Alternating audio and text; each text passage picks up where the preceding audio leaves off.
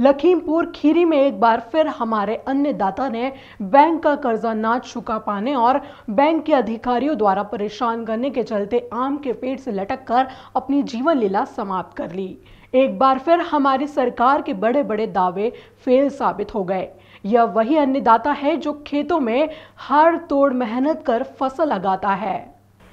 आपको बता दें कि यह पूरा मामला लखीमपुर खीरी ज़िले के मैलानी थाना क्षेत्र के कुकरा ग्राम के ग्रांट नंबर तीन का है, जहाँ पर 40 वर्षीय किसान दीदार सिंह ने आम के पेड़ में फंदा लगाकर आत्महत्या कर ली। किसान दीदार सिंह के पिता बलदेव सिंह ने अपनी चार एकड़ ज़मीन पर पाँच लाख सड़सठ हज़ार का कर्ज इलाहाबाद बैंक से लिया था। पिता की मृत्यु हो जाने के बाद बैंक वालों ने वह कर्जा बेटे के नाम ट्रांसफ़र कर दिया। उसके पश्चात बैंक वाले लगातार दीदार सिंह पर बैंक का कर्जा चुकाने का दबाव बना रहे थे। वहीं दूसरी तरफ़ दीदार सिंह को चीनी मिल में भेजा गया। गन्ने का पूरा भुगतान न होने के चलते दीदार सिंह काफ़ी परेशान थे और बैंक वाले लगातार उस पर कर्ज चुकाने का लगातार दबाव बना रहे थे। इसके चलते परिवार का कहना है कि दीदार सिंह लगातार मानसिक रूप से परेशान परेशान थे।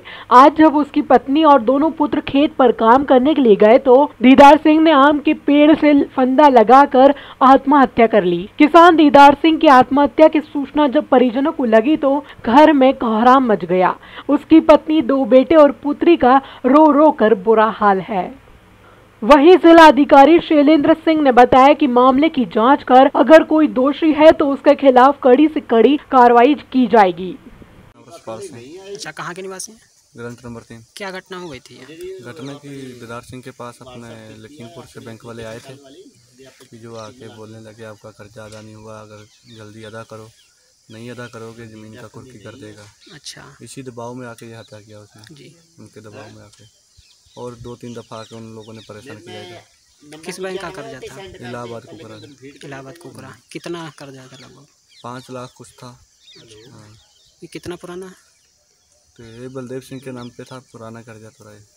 लगभग पहले से फ़सल तीन चार दफ़ा मर गया और बलदेव सिंह और इसीलिए नहीं भुगतान कर पाए। बलदेव सिंह कौन थे बलदेव सिंह उनके पिताजी थे। हाँ। दीदार सिंह के? दीदार सिंह के। अच्छा ये घटना कब हुई? ये परसों हुआ है घटना। परसों हुआ है घटना। फिर किसको सूचना दी? को। अच्छा। किसको सूचना दिए थे बाद में?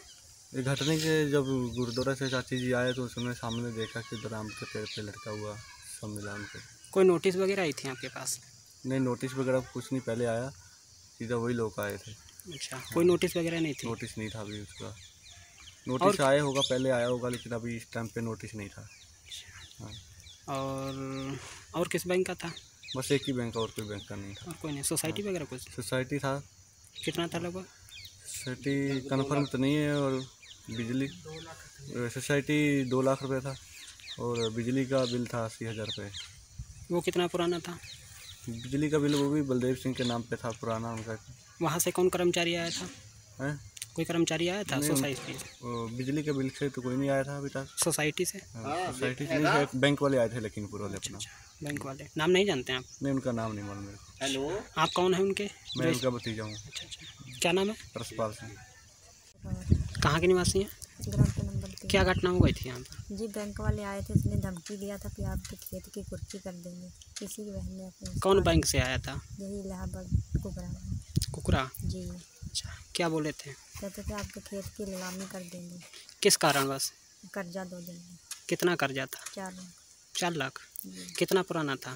पुराना काफ़ी देर का है। काफ़ी। कितने लगभग साल हो गए हमारे बापू जी ने लिया था। अच्छा और किसी बैंक का था? ये सिक्योरिटी का था। सोसाइटी का? कितना था? एक लाख तीस हज़ार। एक लाख तीस हज़ार? वो कितना पुराना था? वो भी पुराने हैं। अच्छा वहाँ से कौन आया था? वहाँ से नहीं यही बैंक वाले यही आए अच्छा। लखीमपुर से दो जने आए। फिर क्या घटना हुई? फिर अब ये चुपते रहे कोई बोले बाले में बात में फांसी लगा अच्छा आपके कौन थे? पति थे। क्या नाम था उनका? दीदार से अच्छा आपका नाम? कुलविंदर कौर। किसान द्वारा सुसाइड किया गया है बता रहे हैं कि कर्जा नहीं अदा कर पाए इसलिए क्या है पूरा मामला? देखिए दीदार सिंह सन ऑफ़ बलदेव सिंह ये गोला तहसील के रहने वाले थे।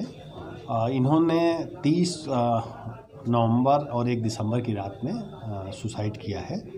और जो बताया जा रहा है कि इनके पास कुल चार दशमलव छः दो एकड़ ज़मीन है। इनके माता पिता दोनों के पास ज़मीन थी दोनों की मृत्यु हो चुकी है और ये दो भाई थे। तो आधे आधे ही दोनों भाइयों को हिस्से आई है जो इनके हिस्से आई है फोर पॉइंट सिक्स टू एकड़ इनके हिस्से आई है। आ, इनके पिता ने पाँच लाख सड़सठ हज़ार रुपये का कर्ज ले रखा था। इसके अलावा इन्होंने भी कृषि कार्यों के लिए एक लाख पचासी हज़ार कर्ज लिया था तो कुल सात लाख बयालीस हज़ार का कर्ज था। घर में इनके ट्रैक्टर है इनके दो बेटे और एक बेटी हैं। अब किन कारणों से इन्होंने सुसाइड किया है अभी इसकी विस्तृत जाँच की जा रही है। इसके बारे में अभी निश्चित रूप से कुछ कह पाना संभव नहीं। क्या कोई सुसाइड नोट वगैरह कुछ इस तरह का बरामद हुआ है कोई जहाँ तक मुझे जानकारी है अभी तक सुसाइड नोट की बात नहीं आई है। कोई आरसी वगैरह भी जारी हुई थी? नहीं कोई आरसी जारी नहीं हुई थी। इनके पास जो बैंक का लोन था दो लोन बताए एक पिता के नाम था और एक इन्होंने खुद लिया था। बताया जा रहा है कि बैंक के लोग इनसे संपर्क कर रहे थे लगातार कि जो लोन लिया गया है उसकी किस्तें अदा की जाएँ।